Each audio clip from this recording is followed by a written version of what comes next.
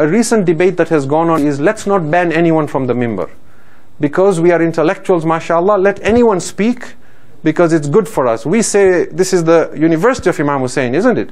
So it's a university, let it be a university, let everyone come and talk. Being receptive to the truth and other opinions is one thing, but being naive and foolish and throwing our children's salvation to the dogs is quite another thing.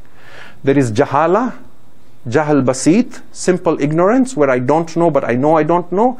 And then there is jahal murakkab, compounded ignorance, where not only do I not know, but I don't even know that I don't know. And the enemy of knowledge is not ignorance, but the illusion of knowledge.